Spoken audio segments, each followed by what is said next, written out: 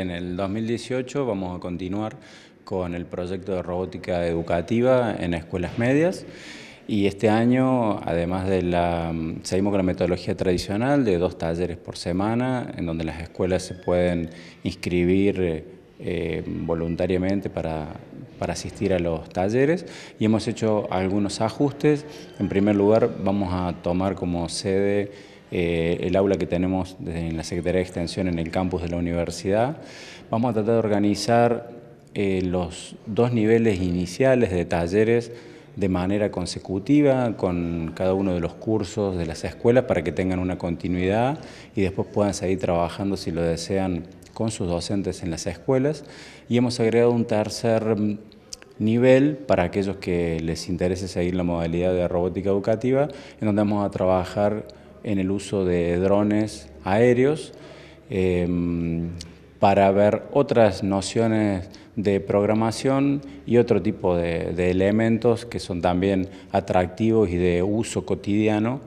pero que en general se, se vuelan a control remoto. Y bueno, los drones que hemos preparado y las herramientas para enseñar programación eh, están orientadas a controlarlos a través de programas específicos donde uno pueda diagramar los vuelos eh, y realizar distintas actividades en ese plan de vuelo.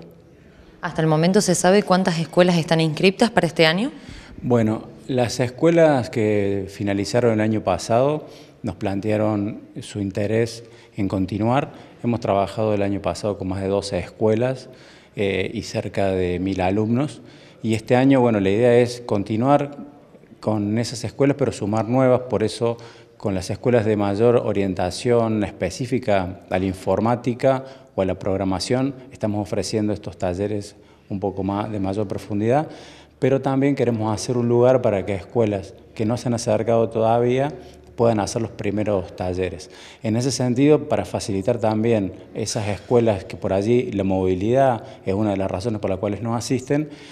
eh, hemos planeado que en lugar de utilizar el aula del campus, eh, podamos ir in situ a la escuela con todo el material, con las computadoras, con las tablets, con los robots y hacer una actividad intensiva en la escuela o una jornada, eh, de manera tal de que puedan, puedan participar y no sea un obstáculo, digamos, el llegarse hasta la universidad.